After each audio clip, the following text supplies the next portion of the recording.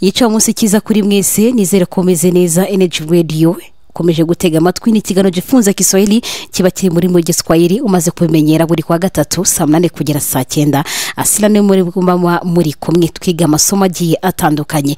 Uyu munsi tugiye kwiga inyunguramagambo ah, z'amasano.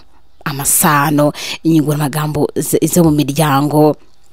Uh, uhusiano uh, msamiati wa familia inyunguramagambo z'amasano. Nicyo bisobanuye inyunguramagambo z'amasano msamiati wa familia.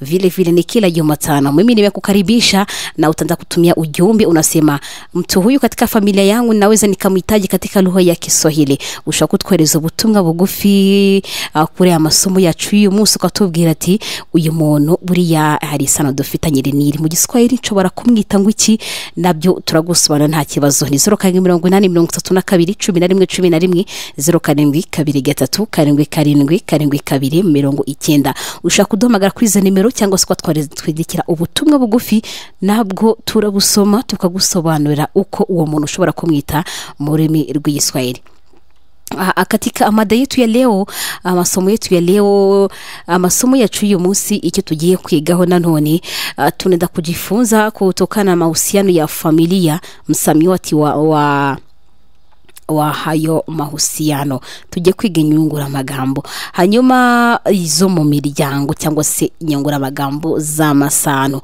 familia ni kundi la watu wenye uhusiano wa karibu katika familia familia ni kundi la watu wenye uhusiano wa karibu katika familia. Umuryango ni abantu baba bishyize hamwe ni abafitanye amasano ya hafi. Umuryango aba ari abantu bafitanye amasano ya hafi. Ni kundi la watu wenye uhusiano wa karibu ni abantu baba bafitanye amasano ya hafi. Icyo ni cyo bita iki? Umuryango. Murabizi umuryango ugizwe na mama papa ndetse n'abana babo. Hanyuma uyu munsi tugiye gusobanura mu magambo ijambo rimwe ku rindi n'icyo risobanura. Turatanga n'ingero za buri jambo cyangwa se eh, turatanga ingero nyinshi. Iyo uvuze mama mama mwese murabizi ni umubyeyi. Mama ni mzazi inawezekana kuwa mikuza ama mikulea ashobora kuba yarakubye cyangwa se yara- yarakureze ah, nawe aba ari umubyeyi noneho umubyeyi nyirizina mzazi hapa mama ni mzazi wako wa kike mama no mubyeyi wawe w'igitsina gore. Baba ni mzazi wako wa kiume ni umubyeyi wawe w'igitsina gabo. Ibyo ngibyo byo murabizi. Tunakuja hapa na jambo lingine ni baba. Baba ni mzazi wa kiume.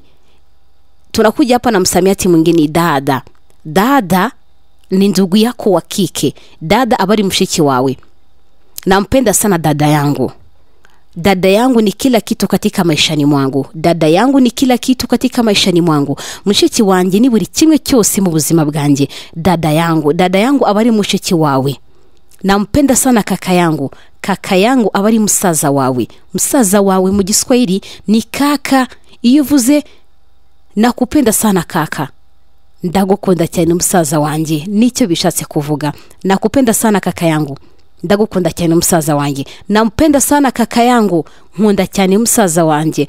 Kaka yako hapa ni ndugu yako wa kiume ni umuvandimwe wawe w'umuhungu cyangwa se w'umusore.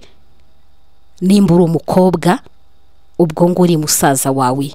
Alafu koko mtoto wa kiume niba uri umusore uwo mukobwa cyangwa se iyo nkumi aba ari mushiki wawe. None mushiki wawe mu giswahili ni dada. Dada yangu ndiyo kila kitu katika maishani mwangu. Mushiki wanjye ni we buri kimwe cyose mu buzima bwanjye. Ushobora gukoresha iyi nteruro bitewe n'uko mwabanye cyangwa se n'uburyo umufata uburyo umukundamo byose birashoboka.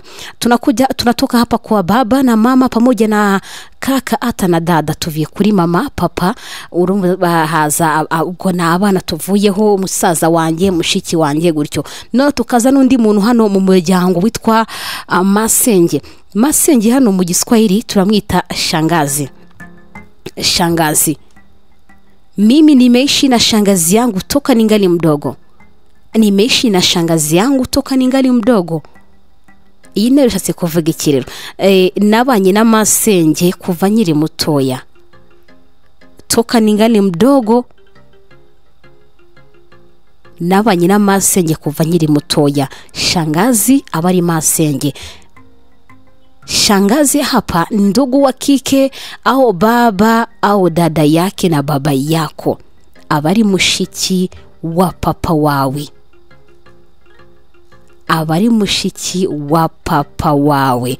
Uwo ni wo bita nyogosenge ikintu cy'amasano gikunda kugora abantu cyane. Aba ari nyogosenge nyogosenge ni mushiki wa papa wawe. Noneho mu giswahili ni shangazi. Nimeishi na shangazi toka ningali mdogo kuishi. Nababwiye yuko kuishi ni nko kuba ahantu naishi na baba yangu naishi na mama yangu. Mbana mama wanjye mbana papa wanjye naishi na shangazi. Mbana na masenge shangazi yako ni ndugu yako ni ndugu wa kike wa baba yako au dada yake na baba yako? Ni umuvandimwe wa papa wawe w'umukobwa w'igitsina gore cyangwa se ni mushiki wa papa wawe. Niwo wita masenge niwo twita masenge tunakuja hapa na amu. Amu cyangwa se ami. Amu cyangwa ami. Wakoresha ibyo ushaka hano. Iri jambo amu cyangwa se ami e, uyu muntu muryango ni ndugu wa kiume wa baba yako. Ni ndugu wa kiume wa baba yako. Tunamaanisha nini? Uyu nguyu ami ni umuvandimwe wa papa wawe w'umusore cyangwa se w'umugabo w'igitsina gabo. Umuvandimwe wa papa wawe nibo twita ba data bacu. Data wacu. Ami wangu simpendi hata kidogo. Simpendi ami hata kidogo. Niwumva ino nero ngo simpendi ami hata kidogo. Iyi nero ishatse kuvuga yuko ntabwo nkunda data wacu habe na gatoya. Simpendi hata kidogo. Nimeishi naye vibaya. Simpendi ami wangu nimeishi naye vibaya. Sinkunda data wacu nabanye nawe nabi. Nimeishi naye vibaya. Huyu ni msamiati wa familia. Inyunguramagambo z'amasano msamiati wa uhusiano wa familia. Tunakuja hapa ndu ami ama amu nakubwiye yuko ari data wacu ubwo data wacu ni umuvandimwe wa papa w'umugabo cyangwa se w'igitsina gabo. Tubivuge gutyo kugira ngo buri wese abashe kubyumva. Tunakuja hapa na mjomba mjomba tutasema hapa ni, ni mtu yupi? Mjomba ni, ni ndugu wa kiume wa mama au wa kakake na mama? Mjomba mjomba aba ari aba ari marume marume ni umuvandimwe cyangwa se ni musaza wa mama wawe. Uwo ni wita marume. Uwo niyo twita marume. Mu giswahili tukamwita mjomba. Mjomba wangu amelala nyumbani. Mjomba wangu amelala nyumbani. Mjomba wangu amelala nyumbani. Mjomba wangu leo atanitembelea. Marume yaraye mu rugo amelala nyumbani. Nakubwiye ko mu rugo ni mu rugo nyumbani. Nyumba nyumba ni urugo nyumbani aba ari mu rugo mu rugo mo imbere. Kulala nakubwiye ko ari ukuryama. Kulala mjomba wangu amelala nyumbani. Mjomba wangu atanitembelea leo. Unaweza ukatumia sentesi yoyote. Ushobora gukoresha intero iyo ari yo yose ushobora kuvuga ati marume uyu munsi ari bunsure atanitembelea kutembelea mtu ni kwenda kumjulia hali jamani unataka kujua ikoje? Siku nyingi hamuonani. Ama itawezekana kuwa siku nyingi anaumwa. Kumtembelea Ku- ku- kumtembelea ni kuja gusura umuntu kesho nitakuja kukutembelea.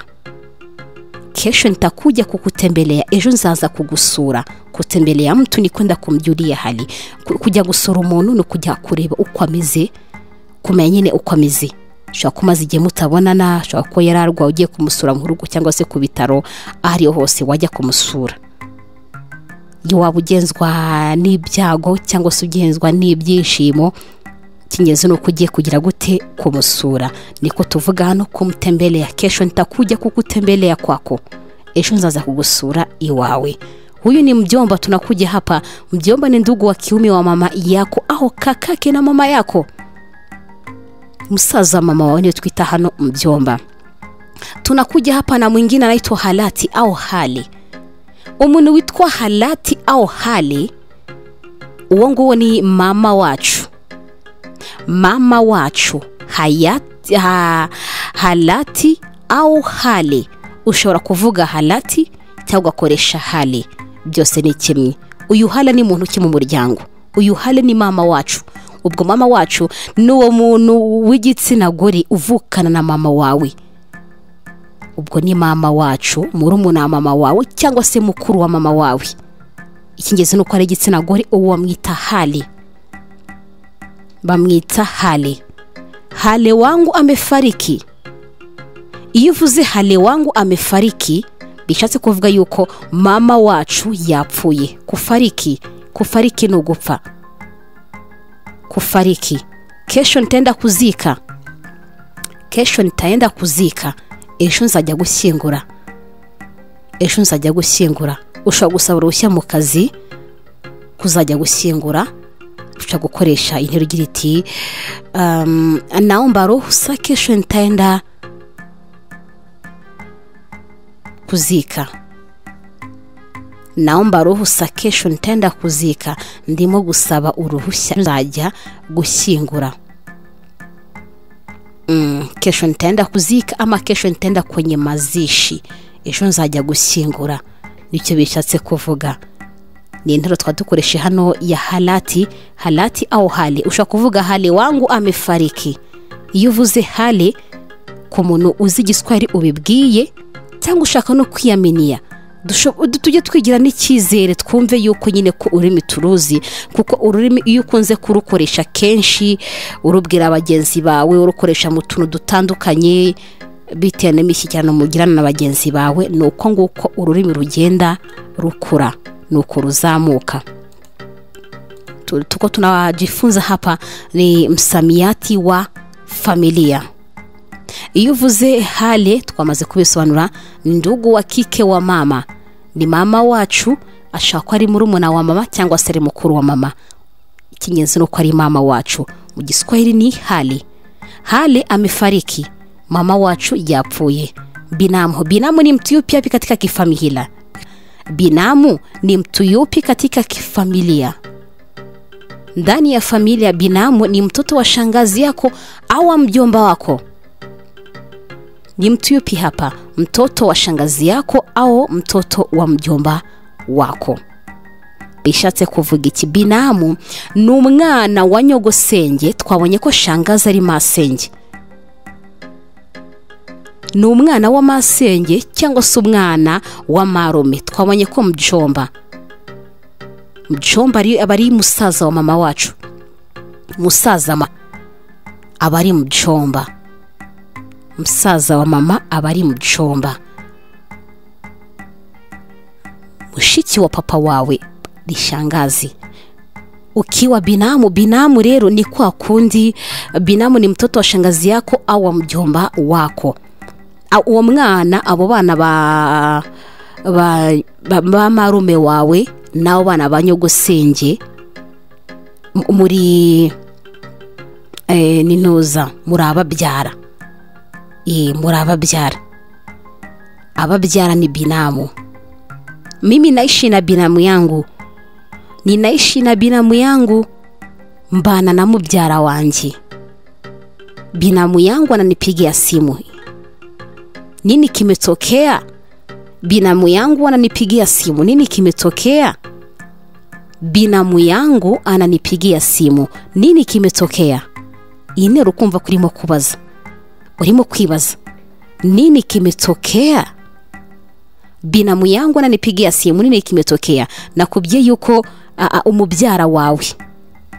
Abo bana bamu abana bantuza ba masenge cyangwa se abana ba marume abo ngabo muba buri ababyara muri ababyara yesi. Baba ba nyogosenge baba ba nyokorume muba muri ababyara. Noneho mu giswahili hano ni binamu. Mko wa binamu muri ababyara. Binamu yangu ananipigia simu. Nini kimetokea mubyara wanjye arampamagaye. Kupigia simu arampamagaye kuri telefoni byagenze bite?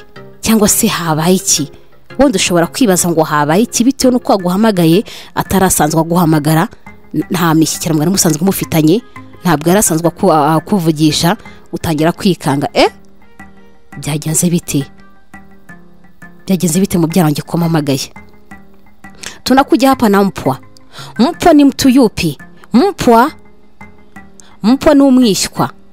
Mpwa ni jinsi shangazi yako au mjomba wako atakwita wowe uko mpwa wake? Nyogosenge cyangwa se nyokorome wowe wowe. Uri umwishywa we. Uri umwishywa wa nyogosenge cyangwa se wa nyokorome. Icyo gihe mu giswahili ni mpwa. Mpwa. Gutyo ndi kubisoma mpwa. Ni ma na pa bitariho inyajwi ni ma na pa na wa n'inyajwi a. Nibyo dusoma mpwa. Uri umwishywa wa nyogosenge. Nyogosenge azakwita umwishywa we kuko uri umwana wa musaza we. Nyokorome azakwita umwishywa we kubera ko uri umwana wa mushiki we. Tujye tumenya n'amasano. Uri umwishywa. Numva ngo ni umwishywa wanjye. Ujye umenya ko uri umwana wa musaza we cyangwa se uri umwana wa mushiki we. Tunakuja hapa. Nyanya. Nyanya katika familia ni mtu yupi? Nyanya mu muryango ni, muntu ki? Nyanya. Nyanya ni mzazi wa kike wa baba au wa mama unaweza na ukamwita bibi. Nyanya bari nyogokuru wawe. Nyogokuru wawe ni we nyanya. Nyogokuru wawe rero ni muntu ki? Ni umubyeyi uvukana na, mama wawe ni umubyeyi ubyara mama wawe cyangwa se ubyara papa wawe. Nyina wa papa wawe cyangwa se nyina wa mama wawe. Mu giswahili tumwita nyanya. Ubwo ni nyogokuru cyangwa se sogokuru. Nyanya? Nawe uzi ukamwita bibi? Ushobora kuvuga nyanya au bibi. Bibi yuko hospitalini cyangwa se nyanya wangu yuko hospitalini. Yupo hospitalini. Nyanya wangu yupo hospitalini. Nyogokuru ari mu bitaro tonde kutoka tutoke kwa nyanya. Nyanya wamaze kumva uyu muntu nyanya uwo ari we. Ni nyogokuru.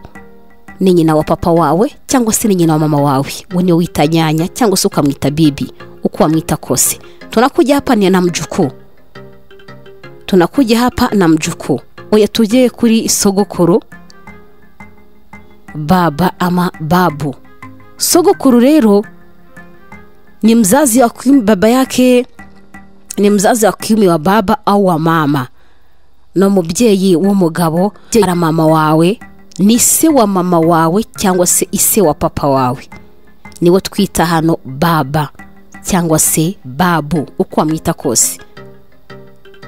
Bamwe bakoresha babu abandi bagakoresha baba ariko babu niyo niryo jambo ryumvikana babu.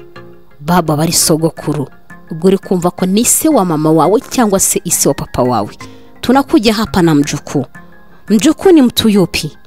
Mjukuu ni mtu yupi? Mjukuu ni mtoto wa mtoto wako. Mtoto wa mtoto wako. Mjukuu ni byo twita umwuzukuru mjukuu ni mtoto wa mtoto wako. Ubwo ni umwana w'umwana wawe. Niwo witwa twita hano umwuzukuru none mu giswahili ni mjukuu. Tunakuja hapa kitukuu kitukuu ni mtu yupi? Kitukuu ni mtoto wa mjukuu wako. Kitukuu ni mtoto wa mjukuu wako. Urabona ko uba ufite umwana ubwo ufite umwana. Umwana wawe arabyaye.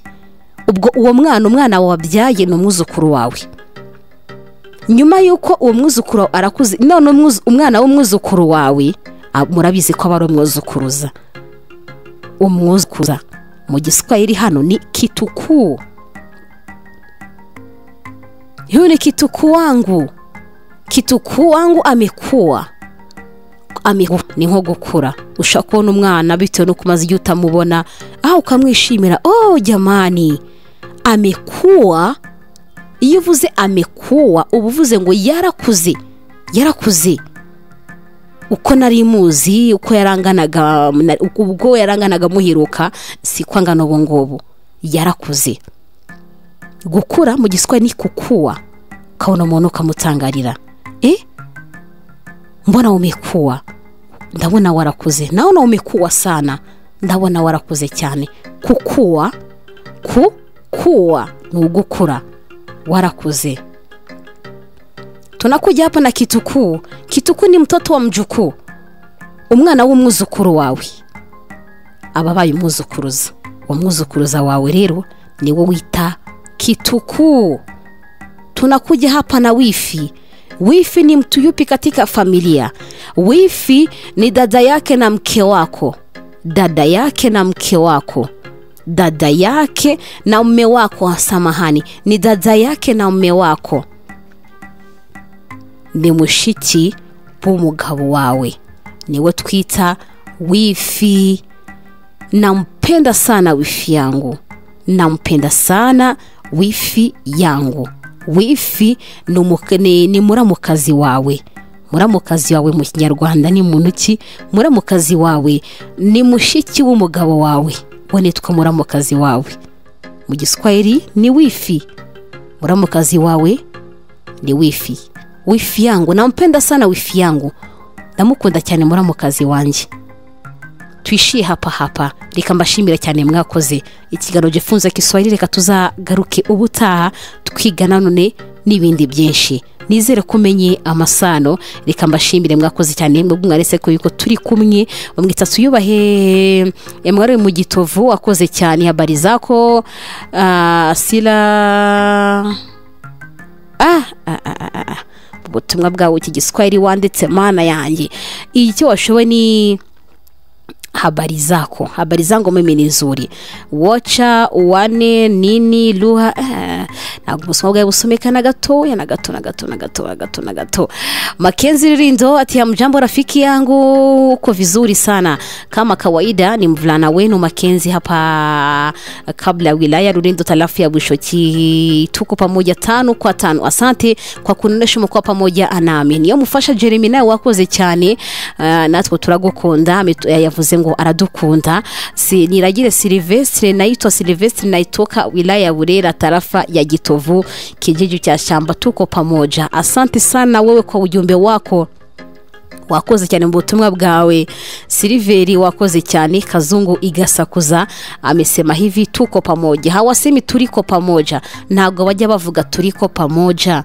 Bavuga tuko pamoja. Iyi ri washizemo ntabwo ujyijyamo tuko pamoja. Ntabwo bavuga turiko pamoja. Mwakoze cyane. Umunsi mwiza kuri mwese imana ibarinde. Ibiga bikonogereye nge nari uwera asila. Gusubira mu yandi masaha mu bindi biganiro bigiye bitandukanye. Imana ibarinde.